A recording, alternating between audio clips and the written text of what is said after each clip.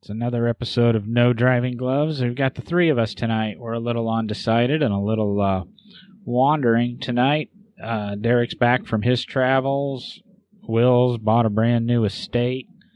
John really hasn't done a damn thing. Estate? Come on. Well, not a whole state. Yeah, it's just merely a, a mansion. A mansion. just takes up a Yep. county, not an entire state. Y'all have lost your mind, y'all's minds. Well, we were talking about cost overruns last week. Now we know where the money goes. But Mm-hmm. if I remember right, though, Derek, you were at the uh, National Association of Automotive Museum conference, someplace that I should have been, but for some reason we didn't make it. Uh, maybe I'll go ahead. I believe you felt you were too good for it or something. I, I knew I was too good for it. There's confidence in everything. Yeah. Or I just didn't have time. Damn race coming up. But I do want to ask did you get to see, and I know there's a lot of controversy between AACA Club and AACA Museum and AAC Library, et cetera, et cetera. But I read an article, might have been today, could have been yesterday, on the new, or the recently debuted AACA uh, bookmobile that has like a seven year restoration project on it. Speaking of going over in time and that, did you see that or find out anything on it or? You know, I didn't. Um, I, I guess I heard a little blurb about it, maybe the same thing you saw. Um, I, I guess it didn't even cross my mind while I was there, though. So, no, I honestly, I did not see it nor hear about the project. I just thought it was an interesting thing. If anybody hasn't seen it, uh, Hemmings has a little thing on it. Uh, either on May or April 16th or 17th, they talked about it, and it was a uh, 1955 bookmobile, and it's basically a chassis cab 3800, I think Chevrolet with a custom box on the back for a bookmobile. But by 58, they said that bookmobiles, as we kind of know them, you know, the converted buses, had become the norm. So it was basically when it was built, it was obsolete and didn't serve too long. And then it was put up by whatever library actually had it commissioned and stored until about 10 years ago when the building it was stored in was sold and the guy that owned it convinced whatever library the, the guy that bought the building convinced whatever library that owned it that he was going to properly restore the car, and then the AACA library get, heard about it and went ahead and did a restoration.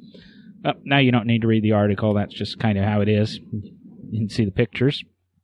But I just thought that was something that maybe you had noticed up there at, uh, while you were in the Hershey, Pennsylvania area, enjoying the museum and the wonderful, stimulating lectures that come with every conference. Hey, will you put a link to that up on our social media? Yeah, I can do that. I'd like to read that. A- anything else going Trying on? to have a Trying to have a what? well, we were trying to have a conversation here, but you know, Will just butts in. no, That's right. That's what I do. we all have our roles in this, Derek. Jeez, you complain, I moderate, and Will butts in. That's right. Now It's I know the where my magic of this podcast. Now I know where my daughters get it from. Oh,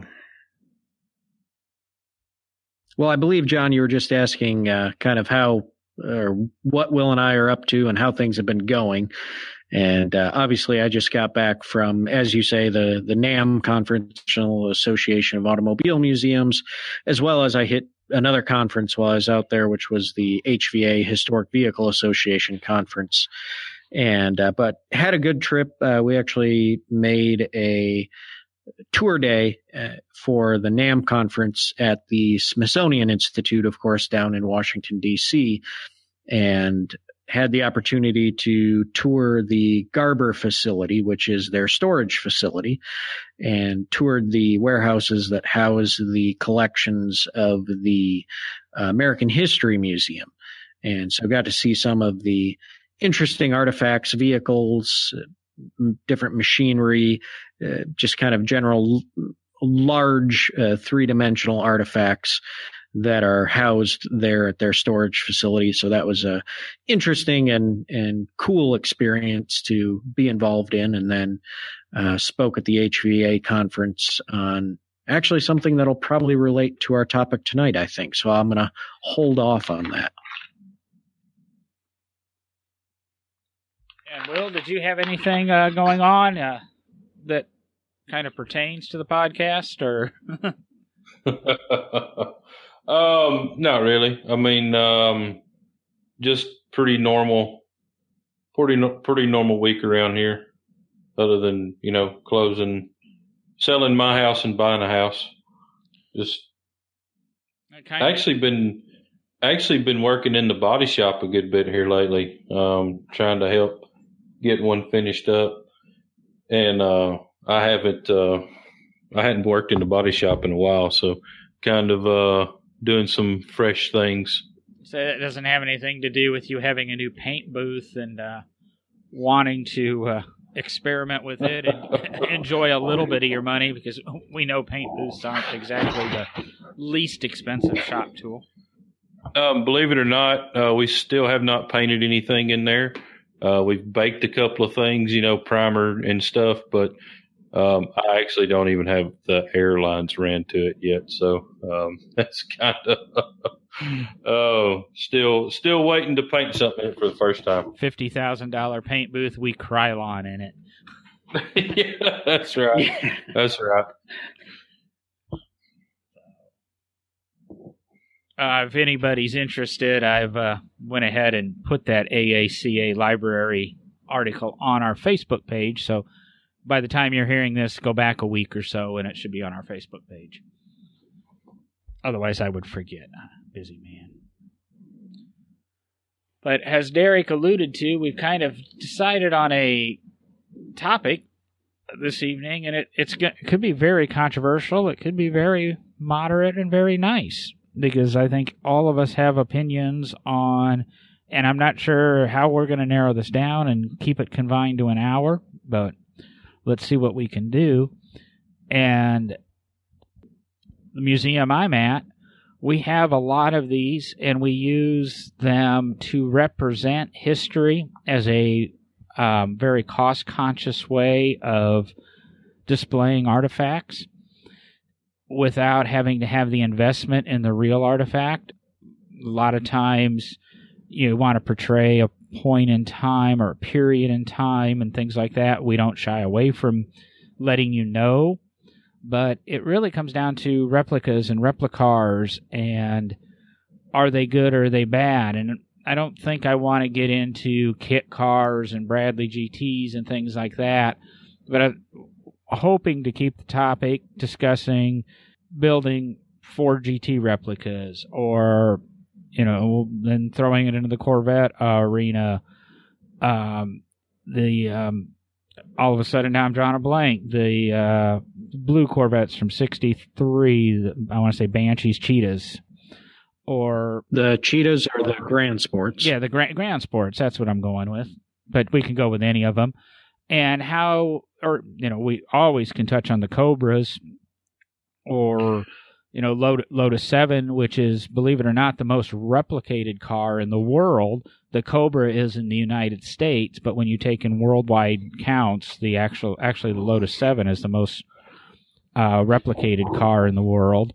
And like I say, we'll shy away from kit cars, which Chapman and Lotus is kind of known for where do we want to go with this? Does anybody have feelings? Like I said, our museum actually displays them and uses them as a way of complementing errors in time instead of putting five, six million dollars into a Porsche 550. We have a really nice Beck replica.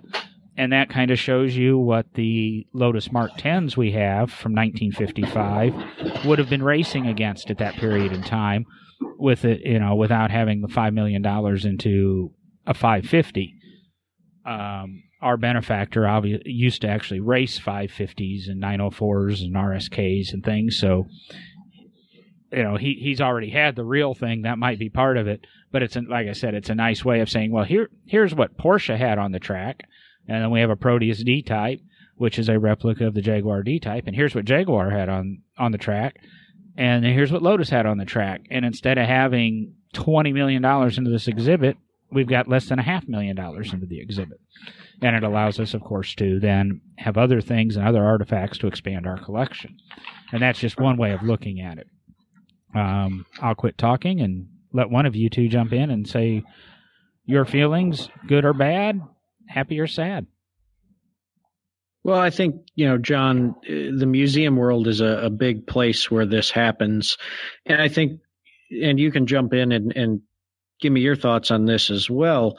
I think we need to maybe determine the definition of a, a, recreation and a replica in at least in my eyes and in my opinion uh, a replica is a copy of a car that still exists whereas a recreation is actually building a vehicle that and we're actually recreating it for the purpose of showing people what it was. And I, those two terms kind of get interchanged a little bit. And I, it always bothers me because it, it's nice to define each one as a certain, uh, you know, with a certain term. So, in the case of this, I think most of what we would be talking about is really replicas, whereas there are a few recreations out there, uh, which I think are fantastic vehicles too. But I, hopefully you would agree with me on that terminology.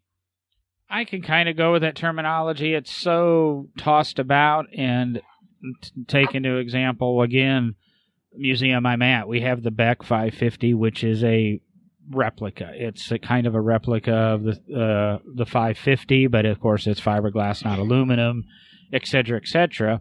But on the flip side, we own um, the Surtees 1964 Ferrari 158, the actual car Surtees ran most of his races in is historically documented. It's one of the oldest Ferrari Formula One cars in existence.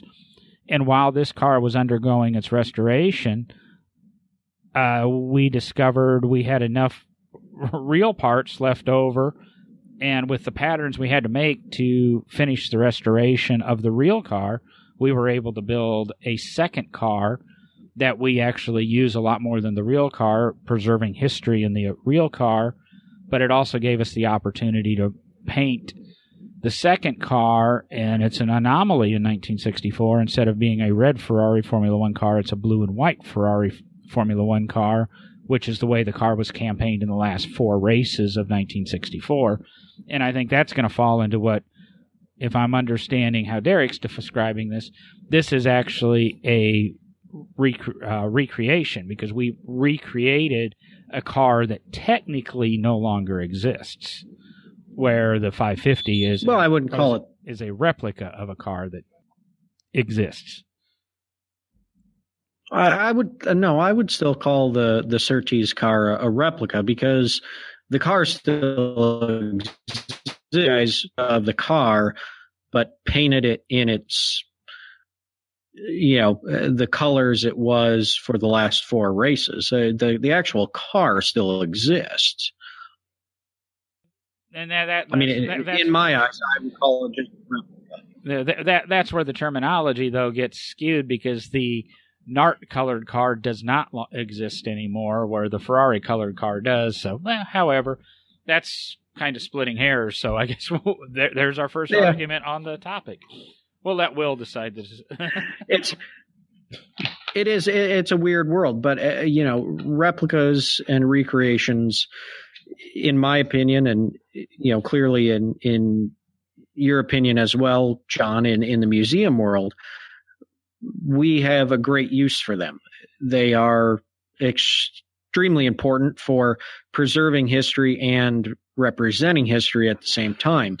Uh, Henry Ford Museum, you know, the original quadricycle that Henry Ford built in 1896 still exists it's still maintained to where the engine will spin and everything will function the way it's supposed to, but that vehicle is never started. There is a replica of that car uh, that runs and drives at different events, especially Old Car Festival at, at Greenfield Village, uh, along with the 1901 Ford Sweepstakes, which was Henry Ford's first race car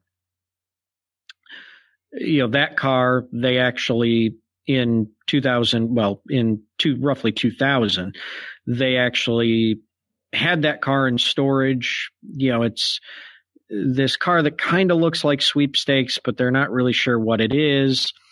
And Ford Motor Company said, you know, we'd love to get that car out, at least understand what it is. Everybody kind of thought it was a, a, a recreation of sweepstakes that Ford had built later in life.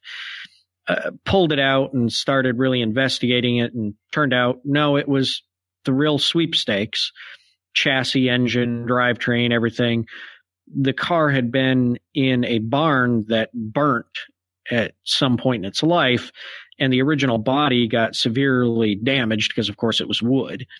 And Henry Ford had a new body built for it and put on it that was close to the original. So it was determined in 2000 that they would not operate that car. Rather, they tore it apart, made patterns off of every single piece of that car, and made two identical replicas of the sweepstakes so those could be driven during the 100th anniversary of Ford Racing. So close in replication, if I recall correctly, uh, the replicas weighed less than 100 pounds difference from the original car. And when running, they had all of the same issues that Henry Ford had documented in 1901 with the original sweepstakes. Same cylinder issues, same bearing issues, um, it was it was incredible how dead on of a replica it was. And as you say, John, those the the replica of sweepstakes and the replica of the quadricycle are extremely important to Henry Ford Museum because it allows them to operate those vehicles, allow people to see them uh, operating in motion, hear them, smell them, see what they were, and really present that part of history without risking the original artifacts, uh, you know, the original vehicles uh, to any type of damage that might occur. Um, rather, if something was to happen, you know, damage a replica, you can always go in and repair it, and you're not, you know, you're just building on a replica that's already there. So, in that case, you know, to me, they're they're a very important part of the automotive uh, landscape in that respect. So I don't know how Will feels about this being a hot rod guy. Well, I you know to be honest with you, I hadn't really ever thought about it in in the museum industry like that, and it, it makes complete sense um, in in that aspects of things. Uh, in our in our industry, you know, we really don't have. I mean, we have there's replicas everybody calls them kit cars, but they're really not. I mean, you can go buy a replica body of a 32 Ford, 33 Ford, just about any early Ford, Chrysler, whatever. Um, of course, made of fiberglass, and you know now, you know Brookville's making them out of steel. Um, I'm just personally not a fan of fiberglass, you know, and, and unfortunately, it makes me not like most um, you know aftermarket recreation bodies or replica bodies, however you want to word it. You know, in in our industry, say you're going to build, you want to build a 32 Ford, okay?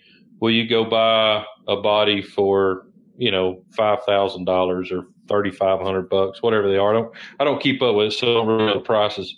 Um, once you get the body, it costs the same to build that fiberglass car as it does if you'll just save for another, you know, six months, two years, however long it takes you to save money to go buy a Brookville steel body or even an original body may need a little rust repair or something like that. Um, but at the end of the day, in the grand scheme of things, you're not looking at that much more money to build yourself an original, you know, Henry Ford bodied car versus a fiberglass car. So it doesn't really make sense to me to go buy a, you know, replica body when you can go get a steel body and it's going to be worth double when you finish the car than what a um, you know a replica 32 Ford body would would bring. So I'm not a big fan of it in in in my industry, um, but I totally see where it it really comes in great benefit for for you guys, especially what John was talking about. Why would you spend, you know, five million dollars to have a car when you can spend, I don't know what, a quarter of that to have a to have a replica and and display the exact same thing. Nobody's really getting close enough to them to realize it's not, but I'm sure y'all disclosed that it is. You know, it is a replica, but this is what was used when the you know, Ferraris were racing against the Lotuses at this point in time in history. So, um, totally, totally see that. Um, it, it, doesn't change anything on, on, on that side of things other than, I mean, it, it, you know, somebody may think they're looking at a real one and not, but I mean, that, that's, you know, that's, that don't, that don't mean nothing to me. So, um, now, now, Will, I want to I want to throw something at you here because you talked about the fiberglass reproduction bodies yep. of you know uh, the and even the steel ones that are are coming out of some of the companies, but looking at like what John and I talked about, the actual replication of a historic vehicle. I want to throw something at you that I see in the hot rod world, and I, I want to get your opinion on it because to me, uh, I mean, I have my own opinions on it, but what are your feelings on you know, the Milner Coupe? Okay, from American Graffiti, you've got the Milner Coupe, you know, shown off in the the movie American Graffiti, and in my opinion, it's it's probably one of the most copied hot rods in history. Oh yeah, you see something that looks like a mill, you know, replication of the Milner Coupe at every almost every car cruise there is in this country. Yep. What do you think about that aspect of it? You know, not necessarily the fiberglass body that they might be using, but the fact that they're replicating one of the you know uh, legendary hot rods from American Graffiti. Well, I'll, I'll put it this way: if if somebody came to to Big Oak Garage and wanted us to build a copy of a car that was famous, I would tell them we don't do that. Um, I'm not a fan of that. I get it. You really like that car. You really like that movie. Heck, let's build one like it. Um, to me, uh, I know this may piss people off, but this is just the way I feel about it. That's easy to do. Okay. It's easy to take something and copy it. It's a lot more difficult to be creative and come up with something that is original. Um, now, yes, you may take, for instance, you really like the way the fenders are cut on that car. Okay, well, let's do something like that and change it up a little bit. You can take influences from that car, but don't recreate that car. Um, just just not a big fan of it. Um, there's a lot of two lane blacktop 55s out there running around. Uh, General Lee's. I mean, how many General Lee's are running around? Yeah. You know, never been a fan of, of that type of thing. Um, you know, I, I like Kenny Wayne Shepherd's General Lee recreation. Um, it's just, um, you know, it's not like the original General Lee. It's it's it's it's got custom paint and it's just you know it's a little different. Um, so something like that, I can kind of understand it. You really like that car, but you put a little twist on it to make it your own. Um, I understand it now. If somebody brought me one of the cars from American Graffiti and they wanted me to, you know, rebuild it just like the way it was uh, in the movie, I would have no problem in the world doing that. Um, to me, that would be really cool and something special to do. But just bringing me an old Model A body and wanting me to make it into the Milner Coupe, yeah, be hard. Be hard for me to do. I'm going to jump back a little bit onto the topic of, and I, I opened the door to, you know, our museum having replicas, and Derek alluded to the Henry Ford. And that's kind of common practice in a lot of museums and not just the automotive industry. Uh, a lot of uh, skeletons and fossils of dinosaurs and that in other museums are replicas or recreations. Uh, museum might actually own the real pieces, but they a lot of times will display the replica just out of preservation stake, um, care of the artifacts, and things like that. Because one of the things you do get, and that's what you know people will say, and I've I've had this happen at events where we've got a car on display and people come up and you go, "It's real," and you, or is that real? And you say, "No, it's a replica," and they go, "Oh," and then they don't care but then a different replica they don't even ask about because it's something they haven't seen before. Um, you can't discount it. Like I said, it, it, it's an educational thing. I have always liked replicas and recreations and things like that as a way of you know being able to potentially enjoy something and allow the general public to enjoy it I do understand, and the big negatives are the values. You know, how expensive and how valuable would a Cobra be if there weren't 10,000 replicas running around? Would a Lotus, real Lotus 7 be a $100,000 car instead of a $30,000 car today if there weren't 88 different companies making replicas and a book telling you how to build a replica for less than $750? uh, you know, little things like that. And that's where they hurt is when it starts hurting the value. But if you're building a replica, you know, Ferrari 512 or 330 or something, I don't think that all the Norwood recreations and the uh, Carpentier re- recreations out there are really affecting the value of Glickenhaus's P3, P4. You know, it's just one of those things that that car is going to be worth whatever it is now, $15 million. The fact that Race Car Replicas does a really nice Gulf livery 917 that runs with an uh, LS motor, things like that, on a monocoque tub, probably a better and faster car than the originals.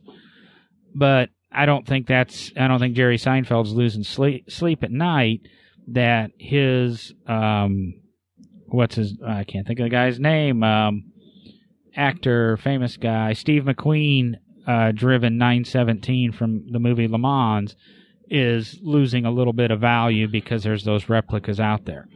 But because those replicas are out there, it's probably exciting a kid to now have the goal to go out and make enough money to have $20 million to try to buy Seinfeld's car when Seinfeld dies. Because Seinfeld ain't selling it while he's alive. So, you know, I think that I look at it as a, a, way to encourage the hobby. You know, like we do say with this podcast, the idea is to expand the hobby, and that's what these replicas and recreations do. Uh, Chuck Beck's been building these Beck 550s and 356s for years and has built hundreds of them. But 550s be, still continue to climb. Would they be $8 million cars instead of $6 million cars? I doubt it. I don't think the fact that Chuck Beck's building a VW based 2200cc uh, Volkswagen motored 550 replica is hurting the real Porsche uh, market. But that you know, the, again, those are as a supporter of these cars and a supporter of the hobby, and I'm not buying these cars for investments. I'll be honest, I'm not paying five million dollars for cars even if I could, I don't know if I would. You know, I, I know somebody with with a real Cobra, but he also has uh, you know two Superformances to go along with it. Doesn't drive the real one, but drives a Superformance. And if somebody gets excited about, enough about his Superformance, he'll take you back to his warehouse and show you his real '64 Cobra. You know, so it to me it, it, furthers the hobby and furthers the education and that, that's what i look you know look at when it comes to cars uh, it's all about having fun and that's what i think the, these vehicles allow Yeah, I agree with that. And I, am going to go back to the beginning of the show where I said I was at the Historic Vehicle Association conference and actually we gave a talk there that alluded to or that was related to our topic tonight. And I actually gave a, a talk on the sinkhole Corvettes here at the National Corvette Museum and talked a little bit about the decisions to uh, restore three of them and leave five of them as they came out of the hole. And one of the uh, things I discussed with that, you know, we get a lot of questions at the museum. Well, why don't you just restore them all and make them look good again? Well, you know, it, it, can they can they be restored? I mean, yes, as most of us say in the hobby and in the industry, anything can be restored. How much money do you want to put into it? But in the case of the five that we have not restored,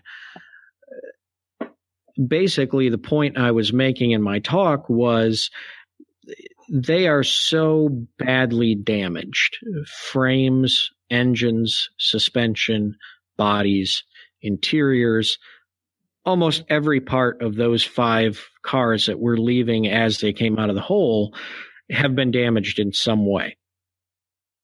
And how many parts of a car during a restoration you know, what percentage can you replace with new parts before it just becomes a replica?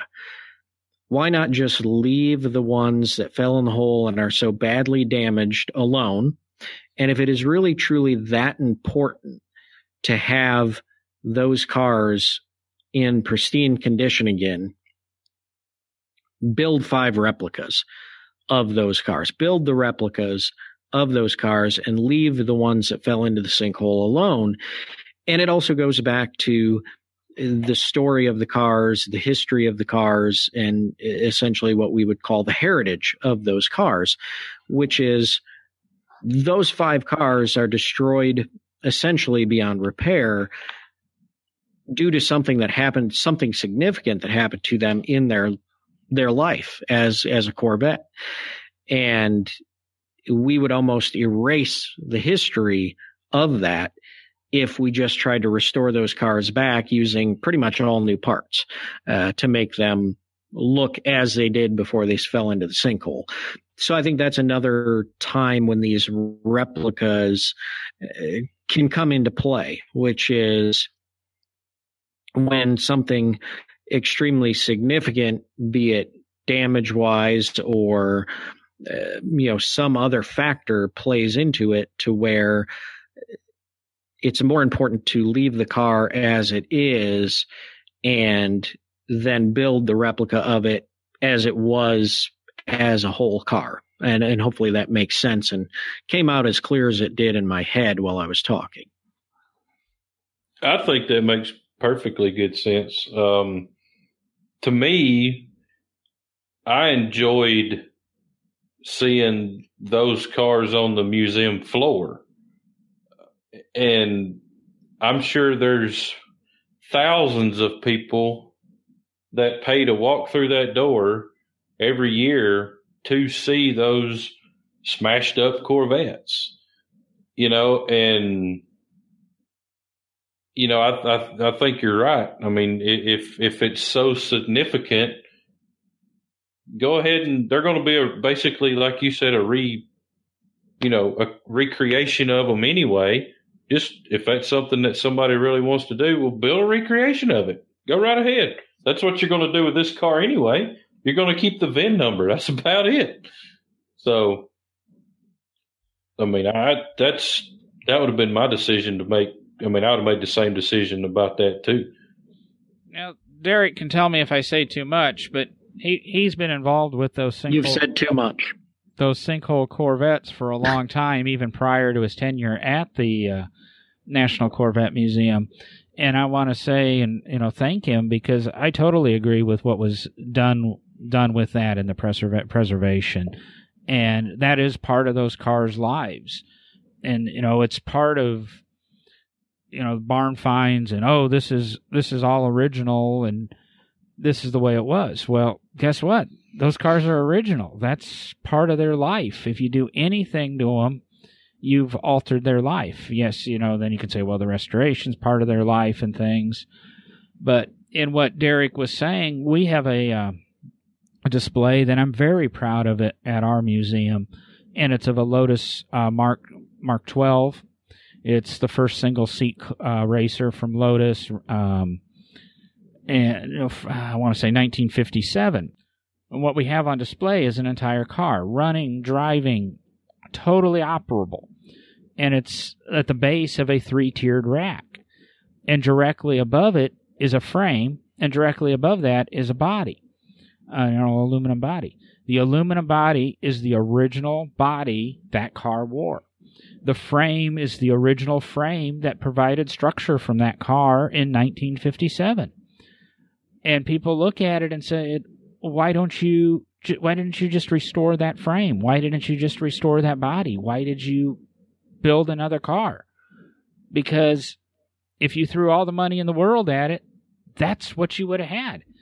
We would have thrown the frame away because there's nothing left to salvage. There is not one straight tube on that frame. You know, there's nothing to even cut out and build everything else around. Every piece of that aluminum is torn or corroded or damaged in a way that it, to repair it would not serve justice and you end up with what we have on display. So technically, we are, you know, we're displaying what could be considered a replica or a recreation, but in the vintage racing world, it is the original car because it carries the original VIN plate and there's a documented history. And the nice thing is, we have the frame and we have the body from the original car, so there's not two of these ever going to show up. Same that goes back to the Surtees Ferraris we have. Is you know at present we own them both. Now, granted, if we ever did sell the replica or the real one, you could possibly expect in 20 years there would be an argument over which one's real and which one's not because how do you decide which one's real and which one's not? Well, and I think that's that's a, a, key thing to talk about too is that when as museums and truthfully, I hope companies that are out there and even individuals that do this, but as museums, when we build replicas or recreations, you know, we know that in a hundred years, we're not going to be around to tell people and, and do that. So we, we do document them very well that they're replicas. We do, eh, you know, stamp them in some way, usually tagging them that this is a replica, this is not the original car, you know, because as time goes by, people forget things. People tend to tell stories that lead to confusion. Uh, and I think John, you you might agree with me here. It happens a lot in the racing world. There are a lot of recreation and replica race cars out there that tend to get the stories muddled just enough that people question what the original car is, which is really a shame that that happens. And, you know, I think the other end of, of replica discussion or recreation discussion is the ethical end of it where if you're going to do it, you're going to build it, you're, you're going to do, you know, a, a replica uh, for fun, for educational purposes, whatever it be, be honest and be truthful that it is a recreation or a replica and don't try to pawn it off as this is the real car. And that's where we hope everybody stays honest and true and continues with that. And I guess you get a little bit of the controversy. A few minutes ago, we had a technical issue, and that's kind of why I stuttered through that Ferrari conversation. But at one point in time, we took the wheel, steering wheel off of the true, honest to goodness Ferrari 158 we have, the Surtees car, and moved it over to the replica and kind of joked with um, J- John before he passed away that oh the other here's the original because it's wearing the original steering wheel. And at what point you know what do you need Um, years ago, I heard a story about Jaguar. I want to say D types. It could have been a C type, and that there were four Jaguar D, D or C types. I really think it was a D type out there with the same VIN number or chassis number because nobody had determined what really made the car. Somebody bought one car, quartered it, and built four, you know, four other cars. And technically, he was right because the Jaguar Restorer Society or whoever controls Jaguar and that uh, hadn't determined what piece of a Jaguar meant it was a Jaguar, and they eventually determined it was one of the, I think it's a left front or the right front upright, and you have to have that piece because it has some sort of chassis identifier on it. You have to have that piece, and that is the car. So you can't, you know, have four four of these. All of a sudden, all of them get cut up, and twenty cars become eighty cars, all with legitimate numbers. But there's a lot of fraud that goes on with the race in the racing world because everybody needs to have a car that gets them into the right event. And a lot of those guys that's why they're doing it is they and I've performed restorations for people that the only reason they're doing the restoration they could care less about the car is they want to go to the party. They want to go to the Saturday night dinner. They want to get ogled or you know the the fanfare for winning whatever class they're in and they go on and it, it, it's a status quo that's you know I'm probably offending some people, but to be honest, you're not the people we want want listening to the podcast. Go away.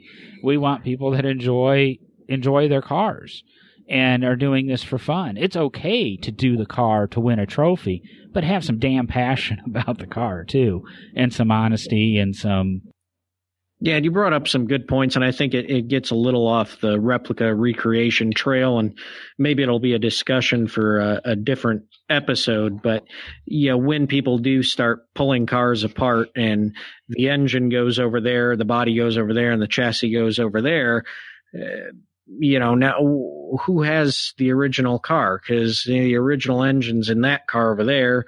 Well, the frame sits under that body, and the original body sits on that new frame over there, and all three of the guys claim that they have the car. Well, eh, you know, in in some of these cases, as I think we've said it before, before you know, somebody needs to just buck up and and say, "Hey, look, why don't we just get this thing back together?" Um, but I, as I say, it, digressing down a, a, path we don't need to go down tonight.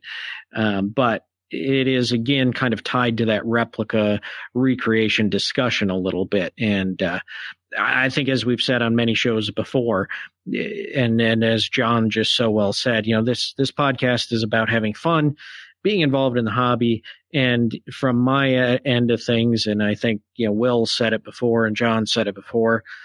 You know, if you're going to be in this, this is for fun. This is you know this is a hobby. This is eh, i mean for some of it's a bit for some of us it's a living but we try to have fun in it. And and the big thing is we try to be honest and truthful in it and not you know m- muddy the story of history but rather try to uh, define the story of these cars histories and and what they really are and and they're important well said. I was going to say i don't know if we talked in circles and confused everybody. But as I say, that's, that's what I try to do. It confused me, you know. So um, it's I don't even I don't even know why I was here tonight. You know, this was this was a little out of my element, but I enjoyed listening to it. I guess I won't have to listen to it on Monday, right? I'm going to say that you you know how I feel when you guys get into these big discussions about work. So yeah, yeah, for real. You know, but I got to say, Will, I, I your your discussion, especially on like the Milner Coupe and and some of that, it, it, gives an interesting perspective from the hot rod world, in in my opinion, and and your look at it. Yeah, I mean, it'd be like somebody coming to you and and saying, you know, I want to recreate one of the I'm trying to think of a famous hot rod. Give me a second here. I'm well, I'm not a hot rod guy. let, let, me interject. I know I think I know exactly what you're doing there, Derek. And uh, and I I've heard discussions from some of the people that were builders in the car. but the car that won the Ridler this year was immediately, and a lot of the social media and a lot of the online dis- topics was, hey, that's CheZoom from 20 years ago. Now, Yeah. the um, again, I've said I listened to Brad Fanshaw, who used to be president of you know Coddington Enterprises and work with Boyd and was involved with CheZoom. He admits that that is CheZoom, but with no budget. They had a budget when they built CheZoom, and they could never have done what they did. And his hats off to that car. And he sees some of the styling cues, but he admits it's you know it's an original thing. But it would be just like me going up to Will and saying, "Hey, I got two million bucks. I like Cadzilla. Billy Gibbons isn't going to sell it to me. Build me Cadzilla." And Yep. Mm-hmm. is that the right thing to do? You know, Derek, I mean, I, yeah, Derek and I are talking about building replicas and recreations of cars. You know, sometimes they're one of ones, but you know, the 550, it's you know one of 50 or one of 150. I don't know how many 550s they built offhand, but uh, you know, for Will, it's building the car from American Graffiti or building the car, you know, building Christine from whatever Stephen King novel, or again, build, building me Cadzilla or building me the Eliminator. How many Eliminator replicas are out there now? Because all of us are is ZZ Top bunch. Fans. a Um, bunch. you know, he he has a lot more moral dilemma, and if all of a sudden his shop puts Big Oak Garage on a Cadzilla re- re- recreation. In that world, and correct me if I'm wrong, Will, it's probably going to be frowned upon because then all of a sudden it's going, they don't have, you know, they got talent, they can build a nice car, but they have no creativity, and that's not something you want to be labeled with. No, no. I, you know, if if somebody wants to build an iconic car, I mean, iconic cars just, you know, there's there's not that really that many in our industry. But if that's what you're wanting, build your own iconic car. Yes, I mean we're talking millions of dollars here to do that. But if it means that much to you, build an original. You know, I mean, it's the same thing in the music industry. You know, people knock off other people's songs and yada yada yada yada, and you know, it's it's the same thing. Why do, why do you want to sing the same song as somebody else? You know, I get it when you're at a bar late at night and you're drinking and having fun, but if you're making a real career out of being playing music on the radio, how many times is a a recreation of a song a hit? It's it's most of the time it's not. Um, you know, so it's it's all about originality and being creative and cool and different and building your own iconic car. So, I mean that the the green dart that we built. There was some pictures on Facebook the other day of a 65 dart painted the exact same color, the exact same stripes of that of the dart that we built. The green with the black and the orange, black interior. Now, I know from a mile away it's nowhere near the same car because they didn't have the money to put to put into it. And you know, on the flip side of that, when somebody tries to recreate one of your builds, to me that's the ultimate form of flattery.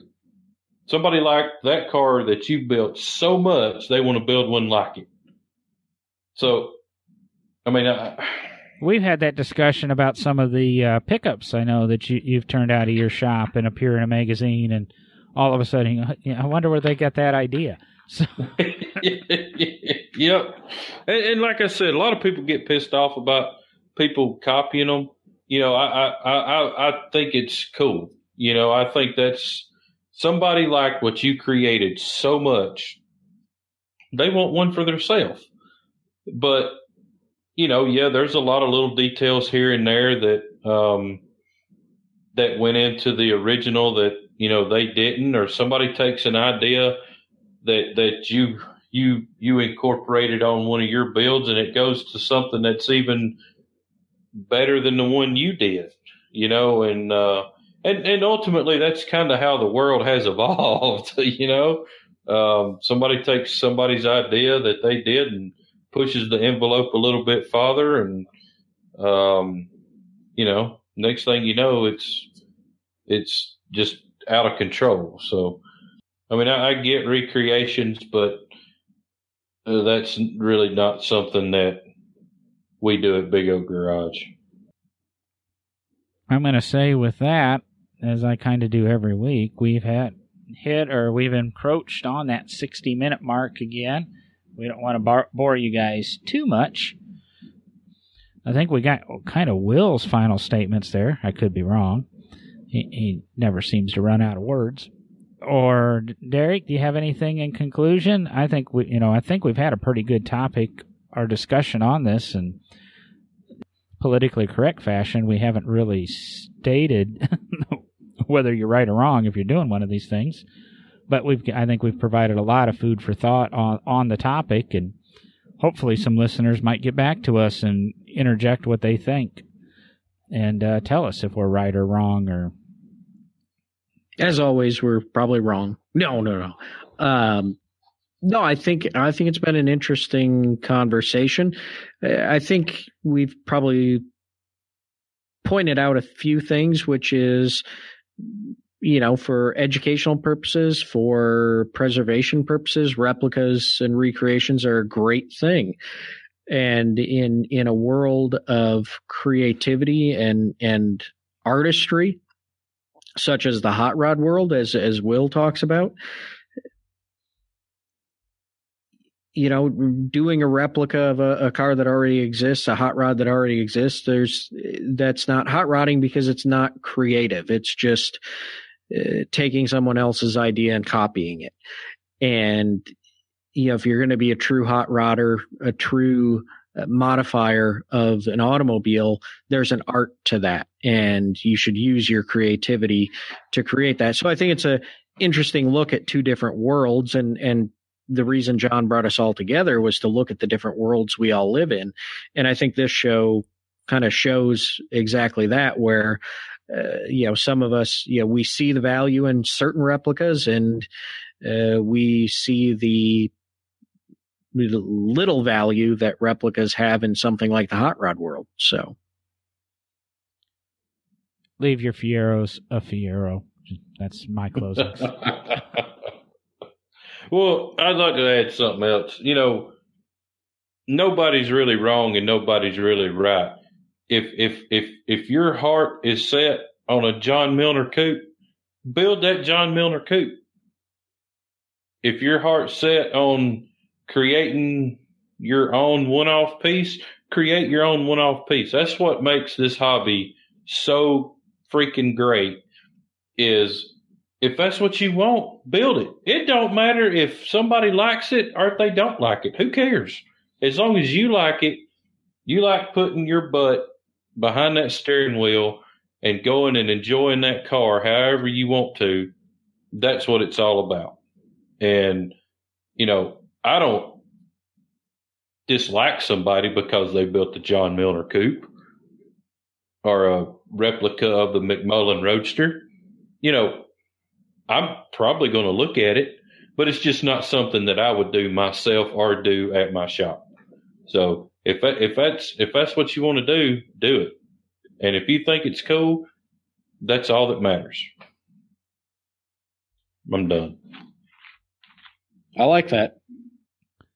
As the old owl said, you know, be yourself. I'm out of here for the night, guys. Uh, we'll talk to you in a week. Tenfold. See you guys later.